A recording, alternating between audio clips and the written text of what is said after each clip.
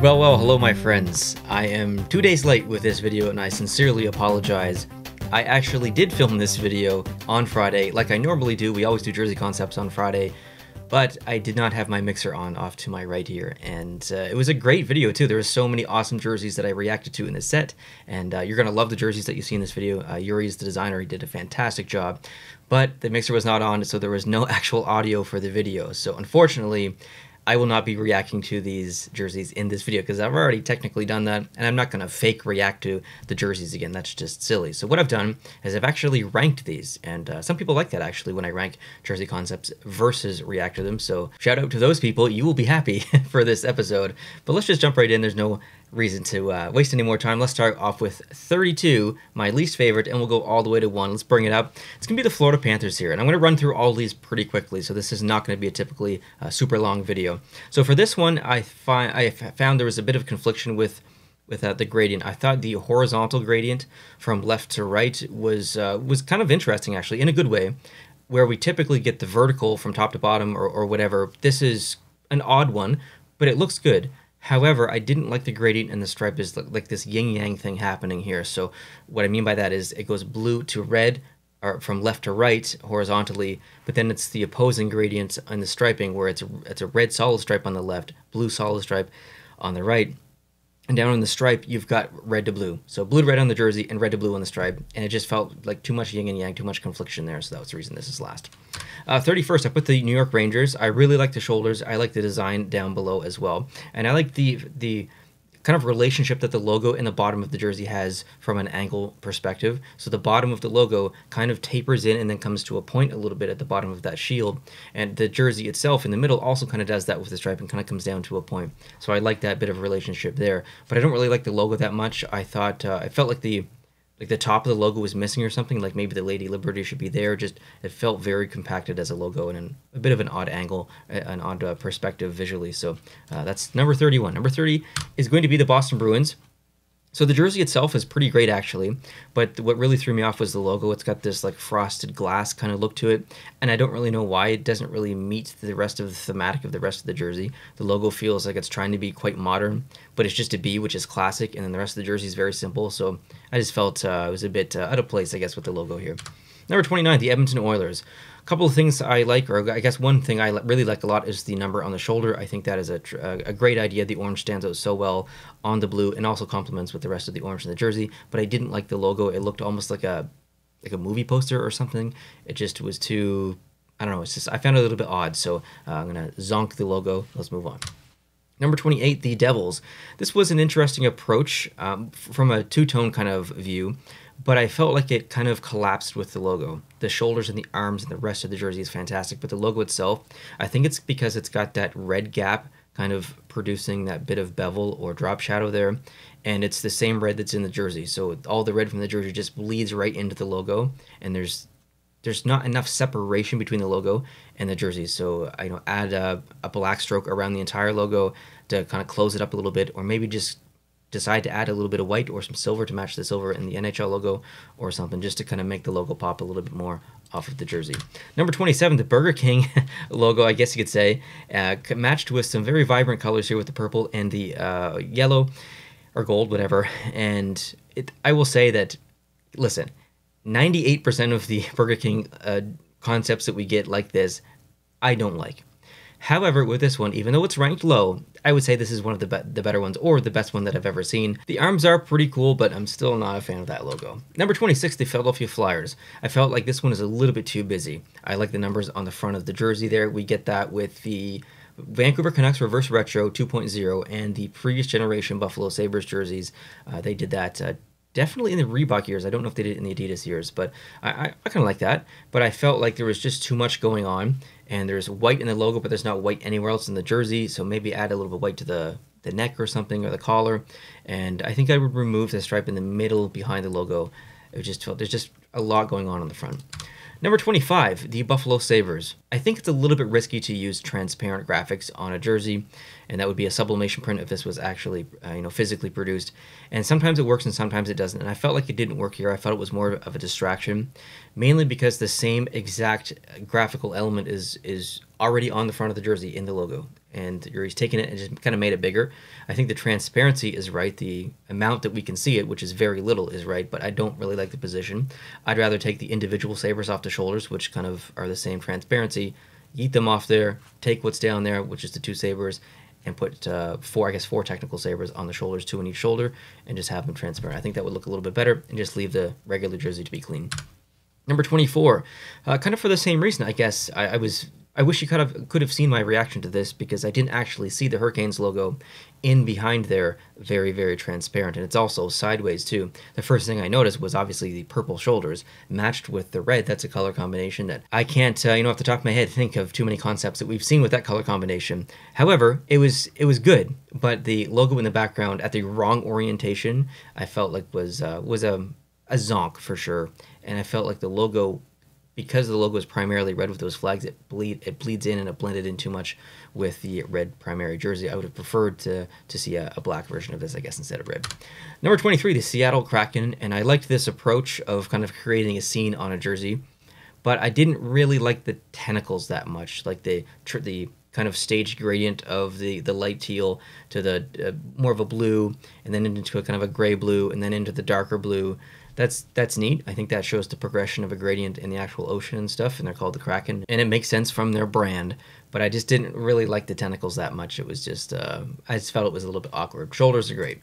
Number 22, the Vegas Golden Knights, and while I was not really like super super excited about this jersey, I think it kind of makes sense just from a logical standpoint. You've got the gold jersey that they have as their home jersey, which a lot of people have really come to to love, not so much wear, but love and they've got the uh, reverse retro, which has the Vegas kind of going down there.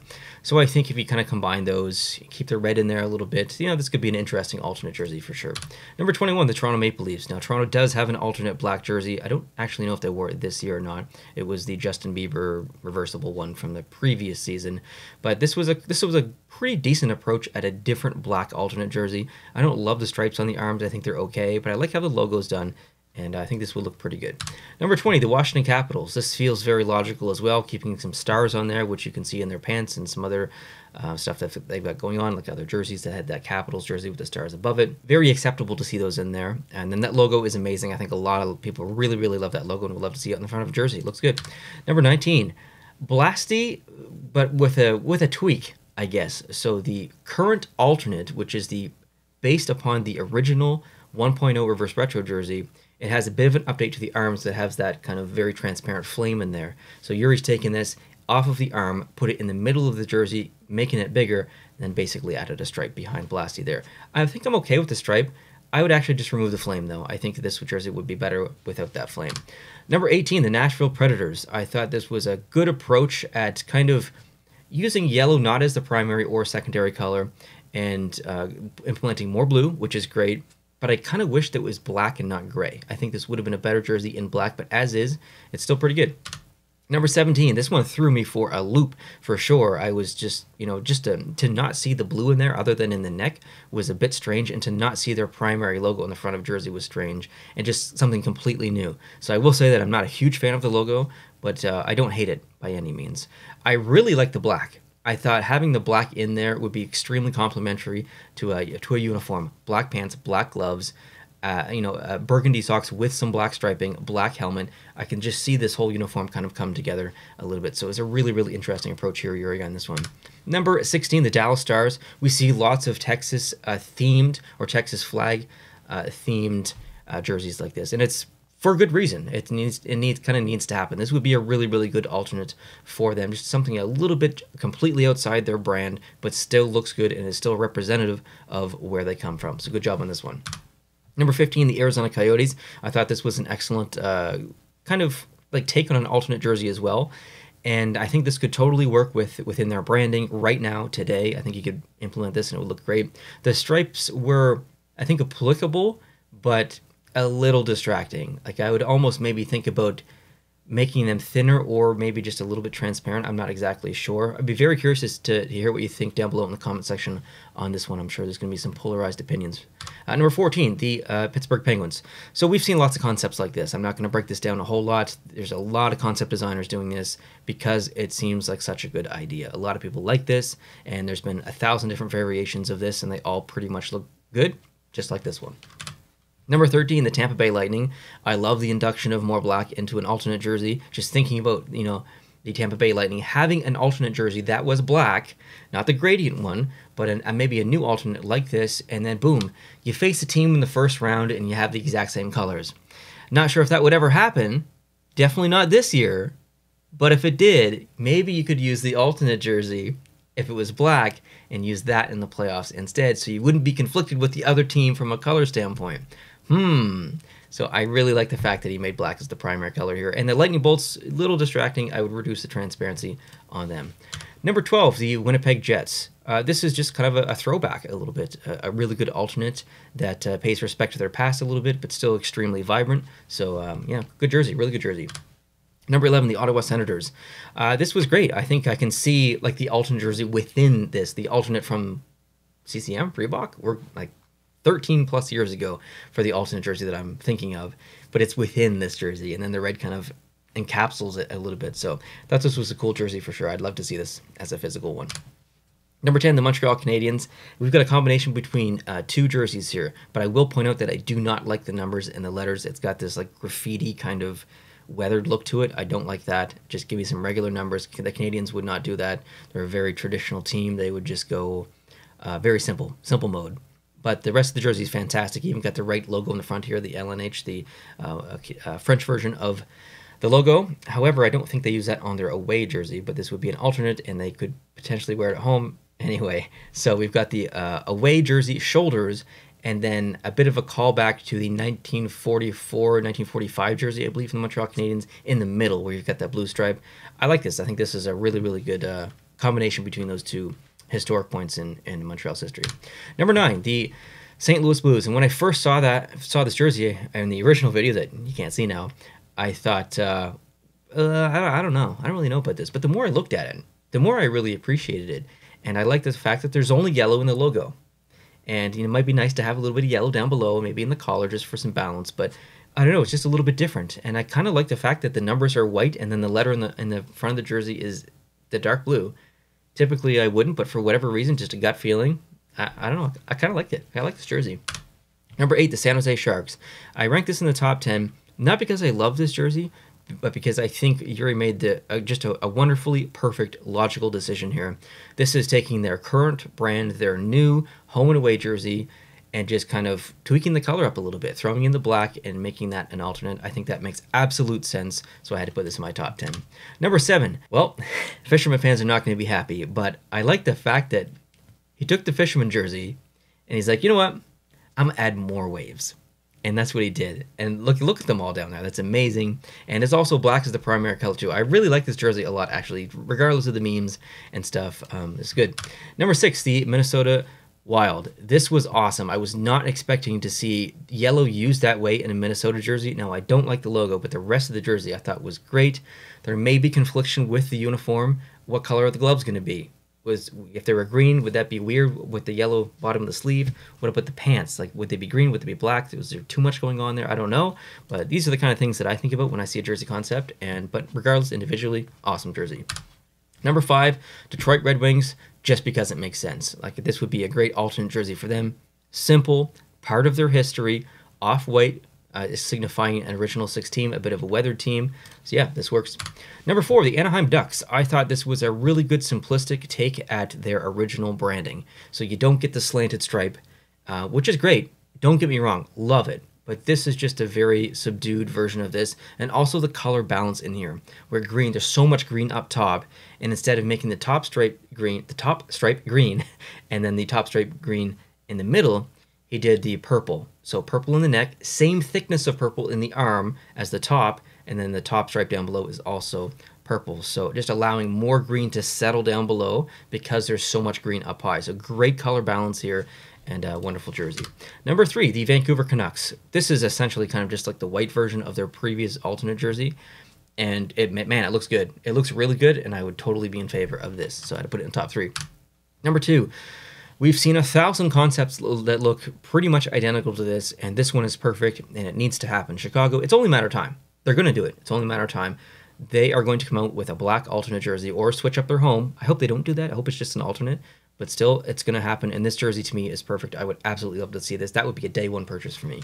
And number one, I put the Columbus Blue Jackets. And when I first saw this, I loved it. And after looking at it for, I guess, probably 15 plus minutes in the original video, and then, you know, now doing it and stuff and in between videos, no regrets. I feel the exact same way about it. And this one is just screams perfect uniform to me.